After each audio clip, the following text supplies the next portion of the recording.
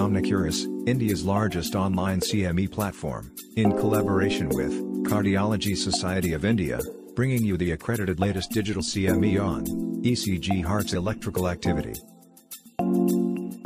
Now this is a schematic diagram of a CT scan of the heart. What you're seeing is this is posterior which is the vertebra and this is anterior which is the sternum and roughly your V1 uh, is placed towards the right of the sternum in the fourth intercostal space then V2, V4 up to V6 comes towards the apex of the heart. If you have an impulse coming through the penetrating bundle of His and the impulse gets blocked here at the right bundle branch, you find the impulse has to go down through the contralateral healthy bundle, which is the left bundle and come left to right. The initial activation is from left to right, which is very similar to normal physiological activation. For more videos, download the Omnicuris app.